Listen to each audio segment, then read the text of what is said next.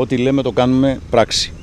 Είχαμε υποσχεθεί να κάνουμε ένα μεγάλο γήπεδο ε, με ό,τι πιο σύγχρονο μπορεί να υπάρξει ε, σε φυσικό και τεχνικό μαζί χορτάρι.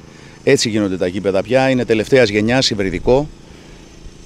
Ένα γήπεδο που βρίσκεται στο κέντρο της Νέας Κίου και θα έπρεπε να αξιοποιηθεί ε, διότι είναι ένας χώρος άθλησης που βρίσκεται αν θέλετε στο πιο ωραίο σημείο.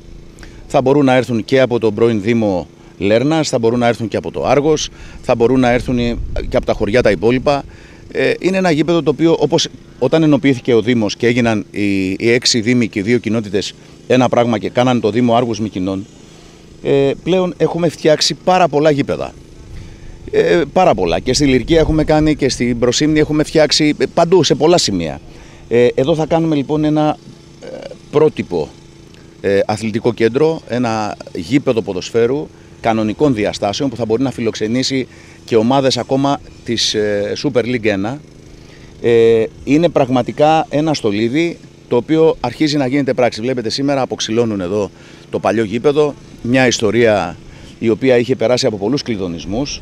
Εδώ είναι δύο γήπεδα 5x5 κατά βάση, τα οποία μπορούν να γίνουν και ένα μεγάλο αλλά μικρό γήπεδο, αυτό χρησιμοποιούσαν εδώ και το άλλο γήπεδο που είναι δίπλα στον, στο χώρο που είναι της Γεωργικής Σχολής εκεί αυτό το γήπεδο είναι ένα γήπεδο με φυσικό χορτάρι. Εδώ λοιπόν θα είναι ένα τέλειο υβριδικό γήπεδο. Ήδη εδώ μετράμε από ό,τι βλέπετε είναι τα συνεργεία. Έχει έναν ορίζοντα μεγάλο έτσι όπως γίνονται όλα τα δημόσια έργα πιστεύουμε ότι θα συντομεύσουν γρηγορότερα και ευελπιστούμε ότι του χρόνου τα πρωταθλήματα και βεβαίως ε, COVID επιτρέποντος από Σεπτέμβρη θα ξεκινήσουν κανονικά και θα μπορούν να παίξουν και μεγάλες ομάδες εδώ. Δεν μπορώ να κρύψω τη χαρά μου, αυτό είναι βέβαιο. Ξέρετε κάθε φορά που γίνεται κάτι και σε ποια χρόνια αλήθεια έχουν γίνει όλα αυτά που έχουν γίνει.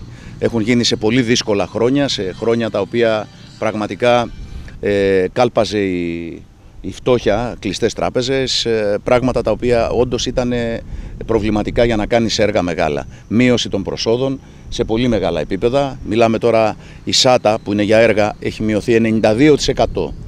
Και θα το λέω πάντα γιατί εμείς δραστηριοποιούμεθα και κάνουμε έργα στην απόλυτη φτώχεια. Δεν νομίζω ότι έχει ξαναζήσει τέτοια πράγματα. Ίσως μετά τον πόλεμο να έχουν ζήσει ε, οι Δήμοι τέτοιες καταστάσεις ξαφνικά βρεθήκαν από 28,5 εκατομμύρια αθρηστικά που έπαιρναν οι 6 δήμοι και οι 2 κοινότητες την τετραετία να προσπαθούμε να λειτουργήσουμε με 2.400 ε, και να έχουμε και ένα τσουβάλι χρέη στην πλάτη μας να βγάλουμε. Παρ' όλα αυτά όμως δεν είπαμε ότι ούτε κρυφτήκαμε πίσω από την ε, ένδυα της ε, οικονομικής κατάστασης, ούτε κρυφτήκαμε πίσω από κορονοϊούς, ούτε κρυφτήκαμε πίσω από πουθενά από αυτά τα πράγματα. Βάλαμε το κεφάλι κάτω, δουλέψαμε, δουλεύουμε και βλέπετε συνέχεια να ξεπηδούν έργα. Ε, Κοιτάξτε, τα δημόσια έργα ε, έχουν ένα χρονοδιάγραμμα το οποίο στις, ε, στις καλύτερες περιπτώσεις είναι 9 μήνες. Αυτό και αυτό, αυτό έχει. Ξέρετε, μέχρι του χρόνου τέτοια εποχή θα είναι 12 μήνες. Ε, εγώ πιστεύω ότι πολύ νωρίτερα θα είμαστε έτοιμοι. Δηλαδή, ίσως και να είναι τον Ιούνιο, ε, από ό,τι λέει. Πάντως όμως, με όποιες συνθήκες και ό,τι και αν συμβεί, του χρόνου τα πρωταθλήματα, όπως είπα και στην αρχή, πιστεύω ότι θα ξεκινήσουν εδώ από το Σεπτέμβρη.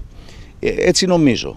Παράλληλα, εμείς θα, αυτά τα, θα τα χρησιμοποιήσουμε αυτό εδώ το πλαστικό στο άλλο γήπεδο, σε ένα τμήμα του εκεί, για να μπορούν να πηγαίνουν και να αθλούνται τα παιδιά. Ωστόσο όμως, οι ομάδες που χρησιμοποιούσαν αυτό για την άθλησή τους, έχουμε τα υπόλοιπα γήπεδα που βεβαίως θα φιλοξενηθούν εκεί.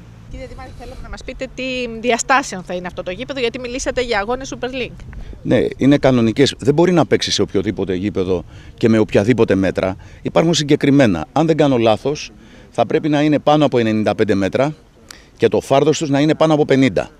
Νομίζω ότι αυτά πρέπει να είναι. Εδώ όμως έχουμε 110 μέτρα επί 65.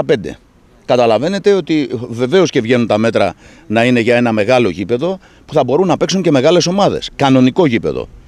Ε, τώρα, όσον αφορά τη χρηματοδότηση. Η χρηματοδότηση είναι από το πρόγραμμα Φιλόδημος, στο οποίο είχαμε ενταχθεί και ξέρετε για να εντάσσεσαι σε ένα πρόγραμμα ε, χαίρονται οι άνθρωποι, ξέρετε, βλέπετε εδώ, ε. Κοιτάξτε, γυρίστε λίγο. Να δείτε, δεν κόβουν, δεν σταματάνε. Χαίρονται και μιλάνε και φωνάζουν και χειροκροτούν. Μπράβο τους.